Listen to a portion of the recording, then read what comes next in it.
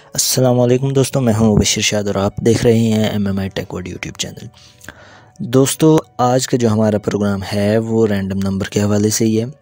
Random number का एक जो प्रोग्राम है रैंडम नंबर कैसे जनरेट करते हैं रैंडम नंबर जो हैं, उनको टाइम डिपेंडेंट कैसे बनाया जाता है, वो कैसे हर सेकंड बाद चेंज होते रहते हैं तो वो आपने अगर वीडियो नहीं देखी, उस प्रोग्राम की, उसकी कंप्लीट अंडरस्टैंडिंग तो उसका लिंक वीडियो डिस्क्रिप्शन में है, वो आप देख सकते हैं। वो देखने के बाद आप ये वीडियो देखेंगे तो ये आपको कम्प्लीटली हंड्रेड परसेंट समझ आएगी। अगर वो वीडियो आपने नहीं देखी तो ये आपको इतनी ज़्यादा समझ नहीं आ सकेगी। तो मेरी सुजेशन ये है कि आप पहले वो वीडियो देख लें, फिर आप ये वीडियो देखिए। तो दोस्तों, सबसे पहले मैं इसको ज़रा जूम कर लेता हूँ यहाँ से, ताकि ये क्लियर ज़रा नज़र आ सके हम लोगों को। ये प्रोग्राम थोड़ा लेंथी ज़रूर है। दूसरे एक प्रोग्राम है, एक एग्ज़ाम्पल है, एक क्वेश्चन है कि आपके पास ट्वेंटी रैंडम नंबर्स हैं, ठीक है? डाइस आपने ट्वेंटी टाइम्स डाइस को फेंका है डाइस को थ्रो किया है, उसके ट्वेंटी रैंडम नंबर्स आपके पास जनरेट हुए हैं। उसके छः फेसेस होते हैं face one face two face three four five six अब छः फेसेस अब छः फेसेस जो हैं, उसके ट्वेंटी टाइम्स थ्रो करने में फ़ेस वन कितनी दफ़ा आया है? फ़ेस टू कितनी दफ़ा आया है? फ़ेस थ्री कितनी दफ़ा आया है? ये हम काउंट करेंगे और सेकंड हमने जो काउंट करना है, वो हमने कैलकुलेट करना है कि टोटल स्कोर जो है, वो कितना हुआ है। ठीक है ना? लूडो की जो गेम होती है, उसमें हम डाइस को थ्रो करते हैं। तो अगर सिक्स आता है तो वो सिक्स स्कोर हो जाता है हमारे पास। अगर सिक्स तीन दफ़ा आया है तो वो स्कोर जो होता है, वो एट थ्री सिक्स का वो हो जाता है एटीन ठीक है? तो ये हमारे पास जो है, ये हमने टोटल स्कोर भी कैलकुलेट करना है कि सारे जो फेसेस हमारे पास हैं, वो कितनी कितनी दफ़ा आए हैं तो उनका टोटल स्कोर जो है वो कितना होगा। तो उसके लिए हम क्या करेंगे, हमने सिंपली ये करना है, ये स्विच स्टेटमेंट भी है। तो स्विच स्टेटमेंट का भी प्रोग्राम मैंने एक पहले बनाया है, वो भी आप देख सकते हैं।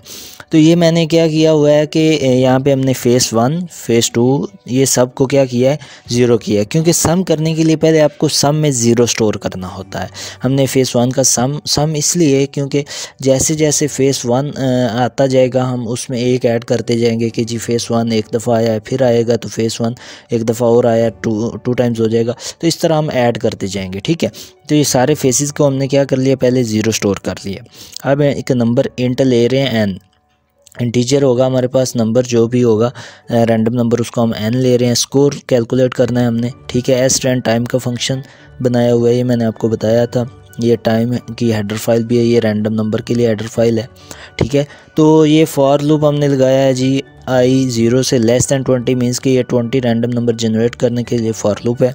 ये कंपाउंड ब्रैकेट अब नीचे तक स्टार्ट रहेगी, उसकी वजह यहाँ तक ये जो है कंपाउंड ब्रैकेट रहेगी। उसकी वजह ये कि हमने ये रैंडम नंबर जो है वो जनरेट करने हैं और उनको स्विच स्टेटमेंट में हमने यूज़ करना है। तो ये रैंडम नंबर के लिए हमने क्या किया है? हमने क्योंकि ये डाइस की एग्जांपल ले रहे हैं तो उसके लिए हमने वन से लेकर सिक्स तक के रैंडम नंबर्स हमने लेने हैं। तो हमने वन प्लस रैंडम नंबर जो होगा, उसको, उसका रिमाइंडर लेंगे सिक्स के साथ। तो मैक्सिमम जो रिमाइंडर होगा, वो फाइव आ जाएगा। तो ये वन प्लस फाइव सिक्स हो जाएगा। और मिनिमम यहाँ पर रिमाइंडर जो आएगा वो ज़ीरो आ सकता है तो वन प्लस ज़ीरो जो है वो वन तो वन से सिक्स के दरमियान ये रैंडम नंबर जनरेट होंगे। अब ये एन आ जाएगा तो यहाँ पे सी ओ टेन कर देंगे, ये एन प्रिंट भी यहाँ पे हो जाएगा, ताकि बाद में आउटपुट में हमें पता चल जाए कि ये जो रैंडम नंबर आए हैं, वो कौन कौन से रैंडम नंबर थे। तो ये रैंडम नंबर हमें पता चलेंगे तो अब हम इन्हीं रैंडम नंबर से स्विच करेंगे इनको। स्विच एन करेंगे ये स्विच स्टेटमेंट का है ठीक है? ये सेंटेक्स इस, इस तरह से होता है इसमें हमने केसेस बना लेने हैं। छः केसेस बनेंगे केस वन में हम एफ़ वन प्लस प्लस करेंगे और उसको ब्रेक कर देंगे ठीक है? तो केस टू में क्या करेंगे? एफ़ टू प्लस प्लस इसका मतलब ये होता है कि एफ़ वन प्लस का मतलब है कि F one is equal to F one plus one सही है? तो एफ़ टू प्लस का मतलब है कि F two is equal to F two plus one सब का, ये प्लस प्लस का मतलब यही होता है, ठीक है? तो ये सारे जो केसेस हैं case one case two case three case four five six इन सब केसेस में ये F one plus plus case one का हो गया टू का, ये थ्री का तो ये ब्रेक करते जाएँगे स्टेटमेंट्स को। डिफ़ॉल्ट स्टेटमेंट में लिख देंगे इनवैलिड ऑप्शन कि अगर कोई रैंडम नंबर इनके अलावा आएगा तो वो इनवैलिड हो जाएगा, लेकिन इनके अलावा आएगा नहीं। ये हम डिफ़ॉल्ट स्टेटमेंट लिखते हैं, ज़रूरी होती है। ठीक है? अब यहाँ पे कंपाउंड ब्रैकेट एक ये वाली स्विच स्टेटमेंट वाली एंड कर देंगे, और ये सेकंड वाली जो ये वाली ब्रैकेट है कंपाउंड ब्रैकेट फॉर लूप वाली, वो एंड हो जाएगी। अब यहाँ पे हमारे पास ऐड होता जाएगा कि कौन सा रैंडम नंबर कितनी दफ़ा आया है। ठीक है? अब क्या करेंगे? हम नीचे आएँगे ज़रा, उसको क्या करेंगे? सी आउट हैंडल ये एक लाइन हम एंड कर देंगे। ये सी आउट करेंगे। फेस वन एफ़ वन में स्टोर है तो फेस वन की कितनी दफ़ा आया है, वो आ जाएगा। फेस टू कितनी दफ़ा आया है फेस थ्री कितनी दफ़ा आया है फेस फोर फेस फाइव और ये फेस सिक्स कितनी दफ़ा ये सब प्रिंट हो जाएगा कि ये कितनी कितनी दफ़ा आए अब आपको पता है कि फ़ेस वन जो है, उस पर वन होता है तो वन की जो वन का स्कोर वन कितनी दफ़ा आएगा, उसको वन से मल्टीप्लाई करेंगे तो उसका स्कोर हमें पता चल जाएगा। टू कितनी दफ़ा आया है, उसको टू से मल्टीप्लाई करेंगे तो उसका स्कोर आ जाएगा। थ्री कितनी दफ़ा आया है, उसको थ्री से मल्टीप्लाई करेंगे तो उसका स्कोर आ जाएगा। तो सिमिलरली सिक्स तक हमने ये उसको मल्टीप्लाई किया हुआ है। वन मल्टीप्लाई एफ़ वन है two multiply by F two three multiply by F three four multiply by F four, five multiply by F five, six multiply F C इनको हमने सम किया है हमने क्योंकि स्कोर कैलकुलेट करना था तो हमने इसको क्या किया है? इनको मल्टीप्लाई करके इनकी वैल्यूज़ के साथ उनको क्या किया है? सम किया तो हमारे पास टोटल स्कोर आ जाएगा।